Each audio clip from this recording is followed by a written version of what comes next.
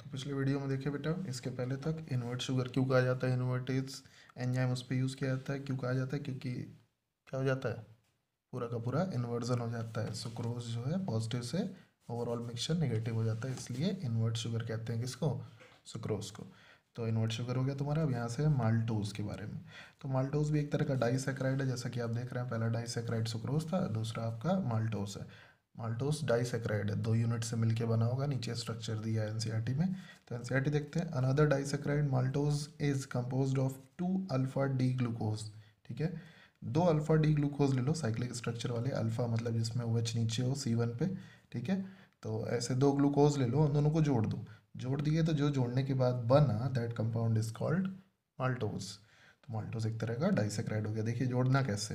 Glucose होगा तो छः कार्बन की रिंग होगी छः मेंबर की रिंग होगी, ठीक है? उसमें जो सी वन होता है सी वन एनोमेरिक कार्बन होता है तो एनोमेरिक कार्बन सी वन को उठाए और दूसरे वाले ग्लूकोज, दो दो ग्लूकोज का बना होता है ना माल्टोज तो दूसरे वाले ग्लूकोज का सी फोर उठाए। तो सी वन पहले वाले ग्लूकोज का और सी फोर दूसरे वाले ग्लूकोज का लेके जोड़ दिए। देखो, यहाँ स्ट्रक्चर में दिखाया है। सी वन पहले वाले ग्लूकोज का और सी फोर दूसरे वाले ग्लूकोज का लेके जोड़ दिए किससे? ऑक्साइड लिंकेज से। इसके ओ OH से क्या निकाले? एच और इसके ओ OH का ओ OH निकाल के दोनों से वाटर निकाल दिए। जब वाटर निकला तो बचा एक ओ और जब ये ओ बचता है तो इसी को कहते हैं क्या? Glycosidic linkage which is a type of oxide linkage ठीक है? तो ये ऑक्साइड लिंकेज बन गया। तो कार्बोहाइड्रेट्स में होते हैं ऑक्साइड लिंकेज ठीक है? माल्टोज में कैसा ऑक्साइड लिंकेज है? किन के किन के बीच में? दो तरह के अल्फ़ा ग्लूकोज में। अल्फ़ा कैसे? इसमें नीचे ओ OH था सी वन पे, इसमें भी देखो नीचे ओ OH दिख रहा है। ठीक? तो एनोमेरिक कार्बन की बात होगी। आगे चलो। माल्टोज के बाद चलते हैं लैक्टोज पे। तो लैक्टोज में क्या दिया है? It is more commonly known as milk sugar milk में पाया जाता है, इसलिए मिल्क शुगर कहते हैं। सिंस दिस डाइसेक्राइड ये भी एक तरह का डाइसेक्राइड है फाउंड इन मिल्क मिल्क में पाया जाता है। It is compose of beta D galactose ये यूनिट्स याद रखना, ये पूछता है एग्ज़ाम में। तो बीटा डी गैलेक्टोज और बीटा डी ग्लूकोज। दोनों यहाँ पे देख रहे हो बीटा। ठीक है? एक ग्लूको, एक गैलेक्टोज, एक ग्लूकोज। एक ग्लूकोज, एक गैलेक्टोज मिला दिया तो जो बन गया वो लैक्टोज नाम को मिला लेना। ठीक है? तो देख लो, ये रिड्यूसिंग होता है एक तरह का। रिड्यूसिंग नॉन रिड्यूसिंग बताए। एक वीडियो बनाएँगे उस पर भी, देखेंगे सारा एन का, सारा स्ट्रक्चर समझेंगे उसमें। फ़िलहाल the linkage is between C one of galactose and C four of glucose देखो, ये तुम्हारा गैलेक्टोज है पहला वाला। दूसरा वाला ग्लूकोज है ग्लूकोज में ये सी वन है सी वन पे ऊपर ओ एच है, इसलिए ये बीटा है। ठीक है? यहाँ पे देखो एनोमेरिक कार्बन ऊपर ऊपर ओ एच होगा, तभी ये भी बीटा है। तो ऊपर वाले ओ एच का एच निकाल दिए और यहाँ के ओ एच को पूरा निकाल दिया। मतलब वाटर निकाल दिए। यहाँ के ओ एच और यहाँ के ओ एच से वाटर जब निकाले तो ओ बच गया। ओ बच गया तो ये ऑक्साइड लिंकेज ग्लाइकोसिडिक लिंकेज मिल गया। ठीक? तो इस कंपाउंड को हम क्या कहते हैं? लैक्टोज दो ग्लूकोज थे तो माल्टोज एक ग्लूकोज एक गैलेक्टोज है तो जो बना वो lactose lactose is a milk sugar आगे चलते हैं। आगे है, तीसरे तरह का सैकराइड यानी कि तीसरे तरह का कार्बोहाइड्रेट पॉलीसैकराइड पॉलीसैकराइड क्या होता है? नाम ही बता रहा है। बहुत सारे सैकराइड जिसमें जुड़े हुए यहाँ आप देख सकते हैं, दो सैकराइड जुड़े थे, दो कार्बोहाइड्रेट जुड़े थे तो डाइसेक्राइड ऐसे ही बहुत सारे जोड़ देंगे लाइन से। एन टाइम्स इनफाइनाइट टाइम्स जोड़ देंगे तो कहेंगे पॉलीसैकराइड पॉलीसैकराइड एक तरह के पॉलीमर हुए। क्या हुए? ये पॉलीमर कहलाते हैं, ठीक? आ जाओ। क्या बोल रहा है? Polysaccharide contains a large number of monosaccharide बहुत सारे मोनोसेक्राइड्स होते हैं ज्वाइंट टुगेदर ठीक? By glycosidic linkage glycosidic linkage से जुड़े रहते हैं। कार्बोहाइड्रेट होगा लिंकेज होगा तो ग्लाइकोसिडिक ही होगा। These are most commonly encounter carbohydrate in nature they mainly act as food storage और स्ट्रक्चरल मटेरियल का काम करते हैं, ठीक है? अब इसमें पहला पॉलीसेक्राइड दे रहा है स्टार्च तो स्टार्च इज़ ए पॉलीसेक्राइड याद रहे। पॉलीसेक्राइड सारे के सारे नॉन शुगर होते हैं। याद रखना ये भी मतलब क्या स्वीट इन टेस्ट होंगे? बिल्कुल भी नहीं। तो स्टार्च की बात कर रहा है। Starch is the main storage polysaccharide of plant it is ये प्लांट में पाया जाता है। It is most important dietary source वैसे सारे कार्बोहाइड्रेट प्लांट में सिंथेसाइज होते हैं, बनते हैं। तो ये क्या बोल रहे हैं? स्टोरेज पॉलीसेक्राइड होता है। It is most important dietary source for human being हम लोग के लिए ये नॉर्मली खाने में आप यूज़ करते हैं, खाने में मिलता है। High content of starches cereal से मिलता है रूट्स में ट्यूबर में वेजिटेबल्स में सम वेजिटेबल्स सारे वेजिटेबल नहीं। अब इससे नीट का क्वेश्चन क्या है? देखिएगा, आगे वाली लाइन ध्यान दीजिएगा। लिखा है it is polymer of alpha glucose एक अल्फ़ा ग्लूकोज आप उठा लीजिए, उसको लाइन से जोड़ते जाइए। ठीक है? एन टाइम्स जोड़ते जाइए तो बन जाता है आपका स्टार्च अब इसको जोड़ने के दो तरीके होते हैं, यानी आप कह सकते हैं स्टार्च के दो कंपोनेंट होते हैं। पहला कंपोनेंट कहलाता है एमाइलोज दूसरा कहलाता है एमाइलोपैक्टिन इन्हीं पे क्वेश्चन आया था। तो क्या है? एमाइलोज तो एमाइलोज पार्ट जो होता है, ये वाटर सॉल्युबल होता है छोटी छोटी बातें, ध्यान से समझ लीजिएगा। वाटर सॉल्युबल एमाइलोज है एमाइलोज की बात कर रहे हैं पहले। ये पंद्रह से बीस परसेंट होता है स्टार्च का। Chemically amylose is long unbranched unbranch मतलब लीनियर चेन होता है। देख रहे हैं, ये स्ट्रक्चर जो दिया, सीधा सीधा स्ट्रक्चर सीधे सीधे सीधे लगा होता है अल्फ़ा ग्लूकोज तो जो सीधी लीनियर चेन बनती है, इस पूरी लंबी चेन को आप कहते हैं एमाइलोज ठीक है? ब्रांच नहीं होती इसमें। ब्रांच अनब्रांच कैसे देखना है? अभी अब आगे देखते हैं। क्या बोल रहा है? 200 से 1000 अल्फ़ा डी ग्लूकोज यूनिट होती है इसमें। Held together by C one C four linkage पहला अल्फ़ा ग्लूकोज, दूसरा अल्फ़ा ग्लूकोज, ठीक है?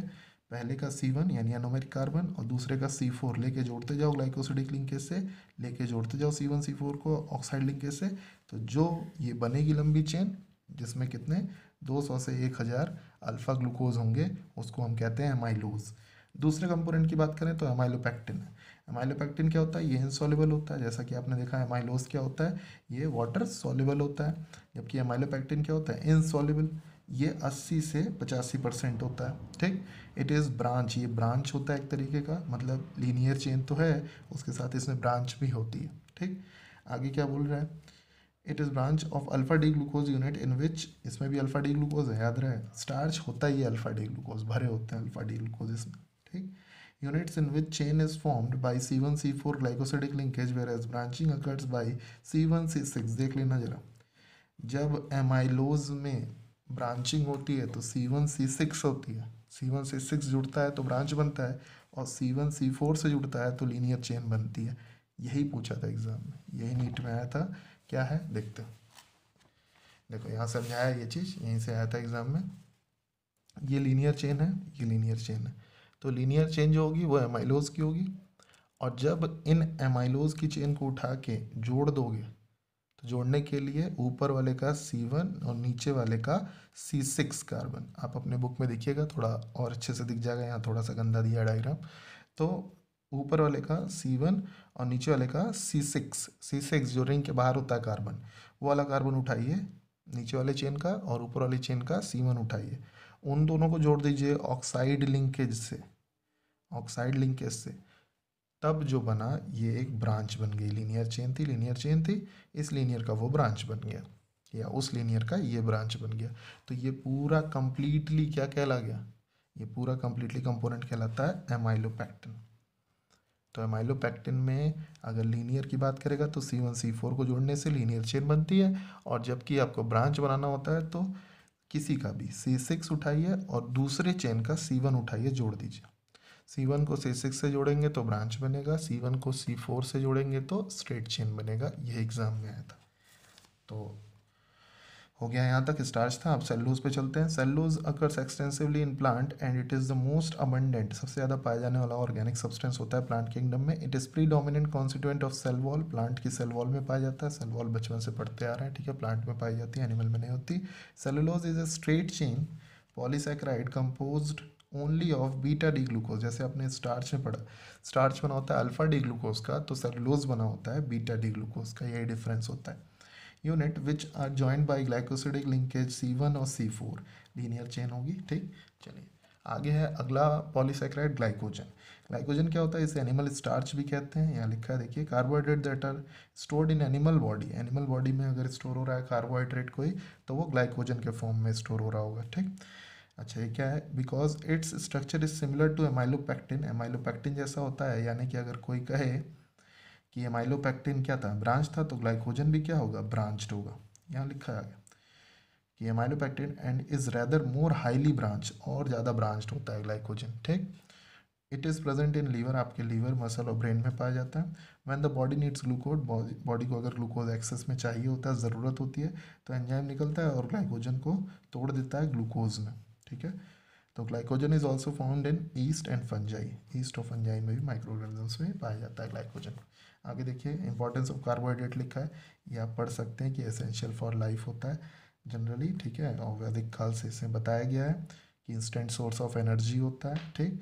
ग्लाइकोजन वगैरह के बारे में बताया गया है। आगे देख लेते हैं अगले पेज में।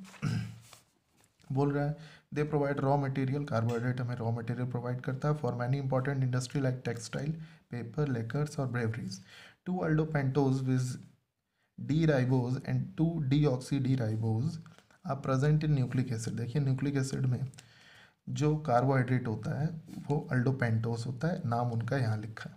ठीक है, ये इंपॉर्टेंट है, इसको याद कर लीजिएगा, इतना ही जितना लिखा है कि न्यूक्लिक एसिड में कौन से कार्बोहाइड्रेट पाए जाते हैं, ठीक है? Carbohydrate are found in biosystem in combination with many protein and lipid protein lipid के साथ एड होके पाए जाते हैं। अगले सेक्शन में देखेंगे प्रोटीन के बारे में। इसमें इतना ही।